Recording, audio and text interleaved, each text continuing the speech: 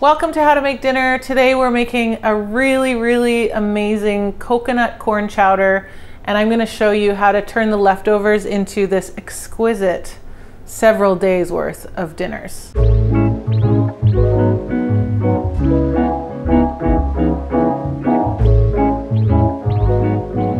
Corn chowder is one of my favorite, favorite things in the world to eat. I grew up eating Campbell's chunky chicken corn chowder from a can.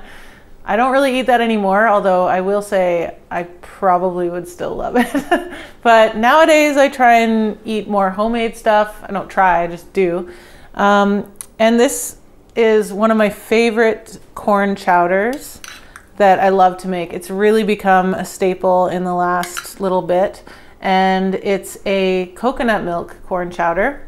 So this coconut corn chowder is full of coconut milk, obviously, lots of corn. You can use frozen or fresh, whatever you've got access to. And it's got sweet potatoes or yams instead of regular potatoes. So I'm gonna show you how I made this and then I'm gonna show you how to deal with all the leftovers because you're gonna have quite a few probably especially if you're only one or two people like we are. So here we go.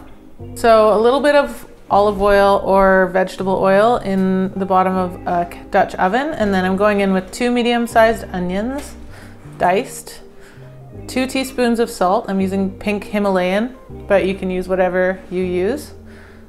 And then three sticks of celery, diced, and then those just kind of get tossed together and sweated down for a good five, six, seven minutes, something like that.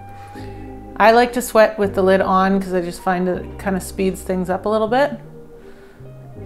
And then once those are slightly softened, we're gonna go in with the next round of ingredients. So I've got one red bell pepper diced around the same size as the onions and celery.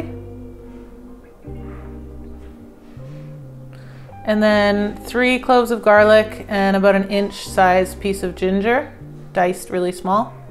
You could also pound that in a mortar and pestle and that'd probably be even better. And then a teaspoon of ground cumin and one and a half teaspoons of ground turmeric.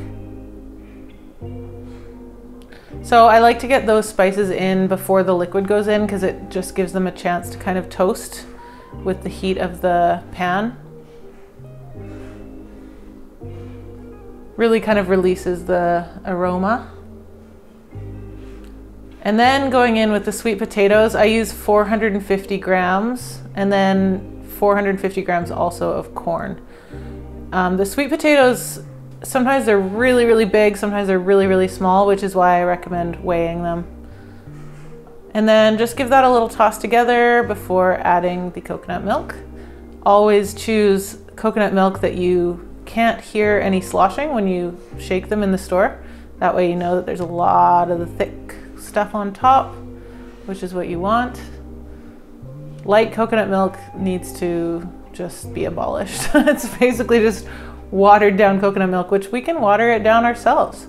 And it's free because water comes from a tap, which is what I did. I also added just enough water to cover the veggies so you can see it, they're still kind of poking through. You can always add more liquid later, but it's better to add less and then add more if you need it. It's hard to take it away. So then we're just gonna simmer that and I do put the lid on, um, simmer it for about 10, 15 minutes just until the yams have softened. And then I like to take a potato masher to it just to smash up some of the yams because I find it helps kind of marry the mixture together. It thickens up the soupy part and it kind of breaks up some of the chunky part and it kind of makes it just better. And at the very end, I add a big handful of any leafy green you want. So I'm using pak choi here because that's what I have in my garden, but could be bok choy, could be kale, could be Swiss chard, could just be a bunch of fresh herbs like cilantro or basil or even parsley. And that's it. That's the coconut corn chowder in all its glory. Squeeze it with a bit of lemon. And I also love a few cracks of black pepper. My first suggestion on how to use up uh, your leftover corn chowder is probably the best thing to do with any thick soup or stew or chili, uh, in my very humble opinion, which is to stuff it into a baked potato.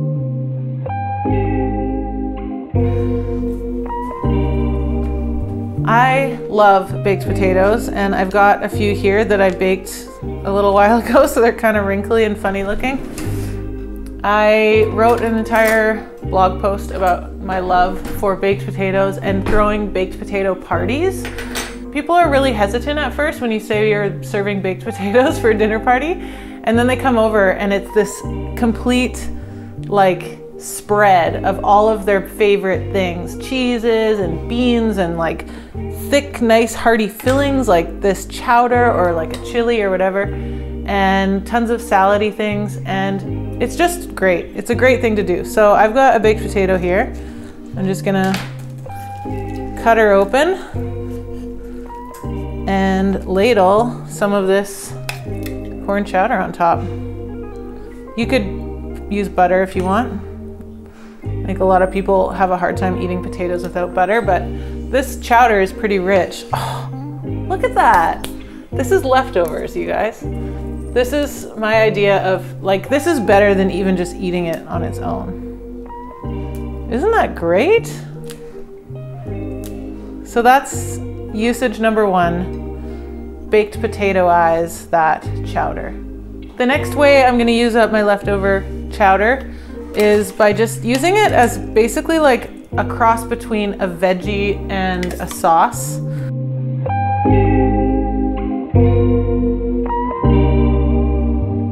So I'm just gonna put a big puddle of it on the bottom of a plate. And then that's a nice looking bed for maybe a piece of protein of some kind. I've got some salmon cooked up. So I've got a nice little piece of salmon. I might just break it up a bit. Mmm, nice sockeye salmon. So this leftover chowder has suddenly been given new life with a big piece of juicy salmon. And I can squeeze some lemon over that, which should be excellent. Oops, got all the seeds. We'll just make sure we get those out of there. Um, what else should that have? A bit of pepper. A few sprinkles of crunchy salt. Delish. Fresh, fresh new dinner. Like you wouldn't even know it's leftovers, you know? The third method for using up these leftovers is kind of a extra fun one, I think. And it's basically just turning it into like a pasta sauce.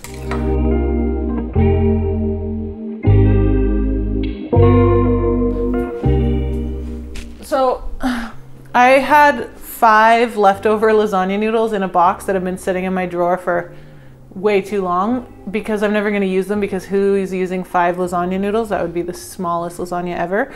Instead, I just busted them in half into kind of like weird, odd pieces, and I'm just going to toss them in with this leftover chowder and make like a makeshift kind of freeform lasagna. I guess. So I'm just gonna toss it. This is, I mean, it's certainly weird, but I don't think it's gonna be bad. I think it's gonna be really good. So all the chowder is kind of coating all these like weirdly odd bobs and bits of lasagna noodles. Just gonna chuck that into a skillet or a casserole dish or whatever. It's kind of like pretty good there. And then maybe grate a little cheese on top just to make it real lasagna-y. This is cheddar, really old white cheddar. I mean, this is just a quick, quick, you know, leftover makeover. It's what I'm all about. Fire that in the oven for like five minutes to just give it a little crust. There's only one thing left to do, and that is check on our weird lasagna makeshift freeform corn chowder lasagna. Here it is. Actually, this looks pretty darn good if you ask me. So, I mean, that's a great dinner, isn't it? Doesn't it look like a great dinner? Looks like a great. I love how the top bit gets a little bit crispy. You get nice little, nice little bits. You can use anything here instead of oddly shaped lasagna noodles. You could use any pasta or even rice would be good for this. Rice would be really good for this. Um, or any kind of grain you want. So I'm just gonna rip a few basil leaves on top because I felt like it.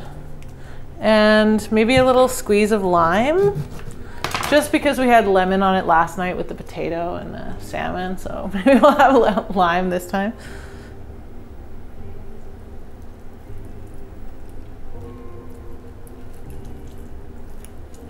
Mmm. I think I'd like to dive into this one. Ooh. Okay, it's easier said than done because these noodles are pretty big. Maybe I'll get a knife.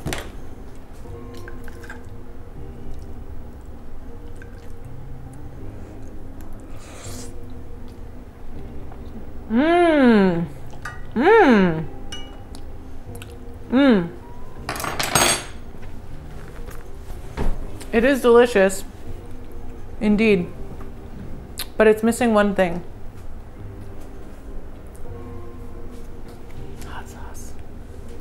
Gotta have the hot sauce. I I love all hot sauce, but I'm gonna go sriracha this time. Just just completely shameless with it. I'm so excited about that. Does that excite you? If that excites you, I think that you came to the right channel. I think you and I could get along just fine.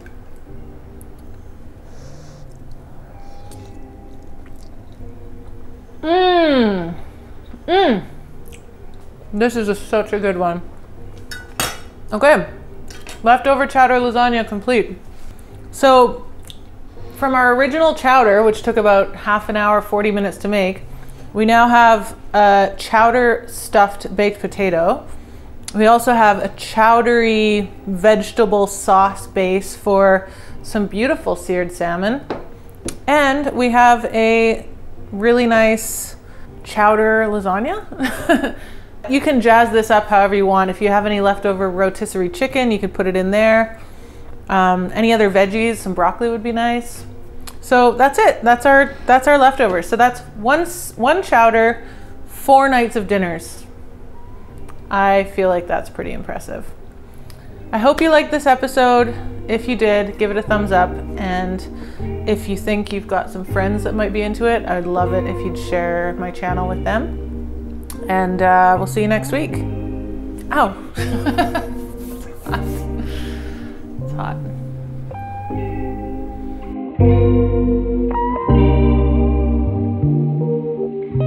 Look at how good that looks. This excites me beyond belief. Just, this is just, this is how we do it, folks.